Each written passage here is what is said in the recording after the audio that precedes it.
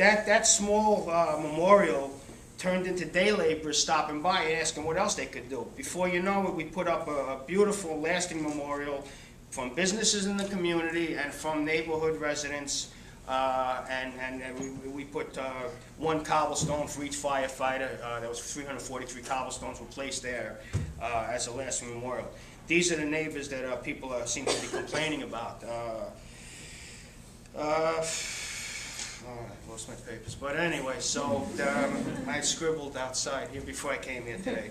Like I say, I'm passionate about my community. Uh, it's not just the Mexican immigrants that are helping us out. Right? In, in, at, uh, 10 years, 20 years ago, when the mall opened, uh, a lot of people, businesses left, and then it was also, I believe it was like a white flight type of a thing. Black families, lower income people moved in, and, and a lot of the people left not the majority, not the people as passionate as me, and a lot of them still remain businesses and stuff like that there. But from 30% occupancy that I experienced as a firefighter, and I see now it's over 90% occupied. These are businesses that are paying taxes and, and, and giving to the community. Uh, it's, it's, it's, it's, a, it's a wonderful place. I, I can live any place in the country after retiring from the fire department. When you're as a firefighter, they tell you you can't live without the city. And that was probably part of the reason I wanted to leave. Once I retired, I looked around and I says, there is no place that can match the community spirit, as far as I'm concerned, the community spirit, the, the grassroots, uh, I don't know, I, I'm lost for words right now, but all I can say is Port Richmond is a wonderful place, and your help is extremely needed in our neighborhood. There's a million things that can be done. Uh, the people could be organized and they're willing and ready to work. They just need the direction and, and, and the resources uh, to go. Recently, there's been a lot of bad publicity about uh, crimes on Mexicans and stuff like that. A lot of these crimes are being overstated by the press, although they do exist. Some of them are crimes of opportunity. Uh, I, I, just, we really need help now before this Port Richmond heads another way and people seek other means of banding together to defend themselves. Right now we have a good police presence and, uh, and people like you can definitely make a change in what I can see as one of the best communities in the, in the country, if not the world. So thank you for your time and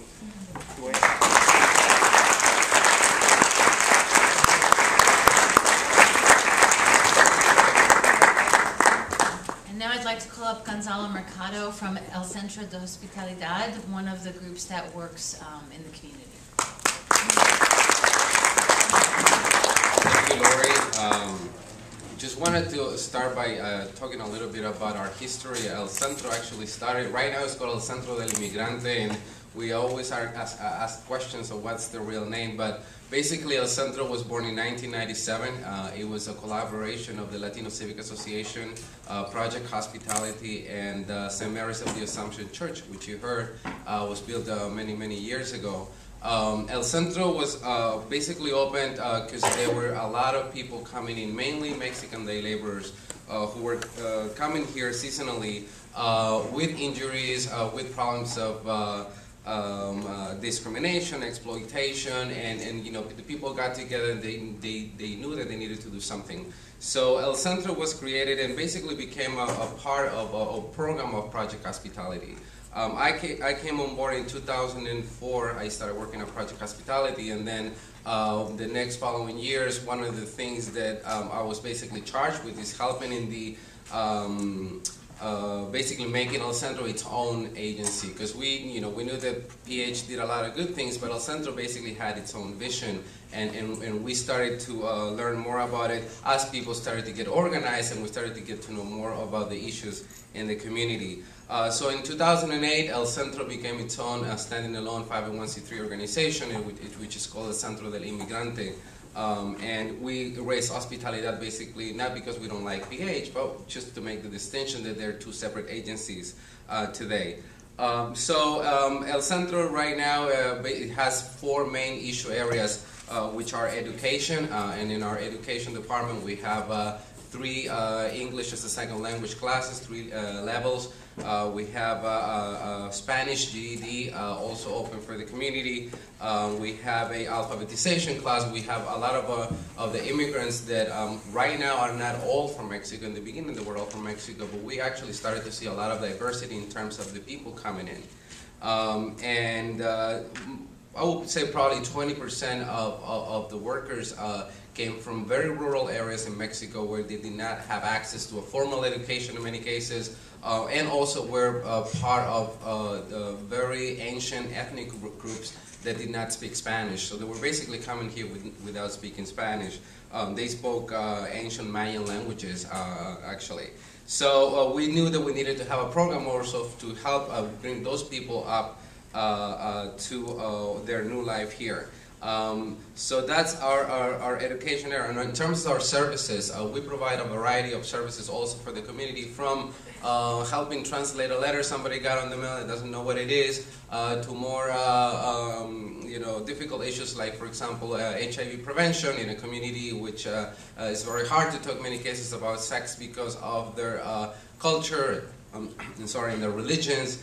Um, but also that we started to see issues of domestic violence. Uh, so we, we needed to uh, have those services there to make sure that people can, can come in or had a place where to go, uh, especially when you know a new immigrants feel very very disoriented. They don't know really what to do uh, in those cases. Um, also, one of our latest uh, um, additions to our programs is actually our cultural arm. Uh, that basically grew out out of our English class, where uh, many uh, students that were from different countries in Latin America got together. Uh, we got together with the Council of Arts and Humanities of Staten Island, uh, and we created a Latino folklorico dance group. Um, actually, last yesterday they performed up for the first time at the Mexican Independence Day parade in Manhattan, so they were all really excited. Uh, but basically, the, the, the, the, the role of this group is uh, themselves uh, show each other different dances. You know, we have different uh, dances from Colombia, Ecuador, uh, Peru, uh, Central America, Mexico, obviously.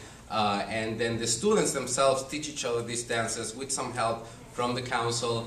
Uh, and also we have a, a, a, a, production of the dresses, the dresses. So basically the ladies make their own dresses and there is a lot of uh, uh, uh, activity going on there, especially where we can make sure that people don't lose their heritage. Uh, they can, we can keep those traditions alive, especially with the new generations, their own children that sometimes don't know much about their countries of origin or the culture of their, of their parents. So we want to make sure that we uh, keep that alive. Um, and then lastly, we have our um, advoca- advocacy and organizing um, uh, part of our programs. And basically, we have a workers' uh, uh, committee. Uh, we provide, and, and, and uh, since the beginning, our, our, our role is to provide the tools for people so they can organize themselves, create their own leadership, and we, we, we are there as a support. Uh, uh, we are very uh, mindful of, of how uh, communities can come together uh, and providing the leadership for people to do it, uh, as opposed to us coming there and hey, you know, this is what we're gonna do. Um, the majority of our board of directors uh, is comprised by day laborers and immigrant members of the community, uh, and, and, and our, in, in our mission statement, that's, that's one of our, uh, our priorities. Um, so we work around a, a, a, variety of issues uh, during, with this committee basically uh, in terms of uh, health and safety at the workplace, for example, which many immigrants don't uh, have the privilege to have. Um, wage and hour violations, huge issues of workers not getting paid, getting paid less than what the minimum wages uh, uh, or issues of uh, exploitation, people working 80 hours a week and not getting paid for that, um, people getting injured, and sometimes uh, people getting killed at, at, the, at the job place, and you know making sure that we provide the support for those families, uh, and also we provide uh, assistance to those workers who get injured. Um, then you know we, we have a lot of issues with our, with the youth and the young people also as well. Uh, um, many of, of, of the families that we work with, we you know uh, uh, uh, call them uh, mixed families, and, and by that I mean uh, uh, obviously we all know the, uh, one of the main issues in the Mexican community is many of them are undocumented, uh, and when you have uh, you know a family, when you have two kids who are documented, who were born here basically, and you have two or three others who were not, were you know brought from their homes. Uh, there's a lot of issues that start to arise there with some kids having all the opportunities of the world and then other kids in the family uh, basically not having a future uh, or you know saying you know if i'm you know gonna go to work when i turn 18 why don't i start working right now? So they don't finish uh, high school they don't finish they don't go to college and there's a lot of uh, problems especially for those families uh, trying to deal, deal with these issues while they're trying to take care of their own families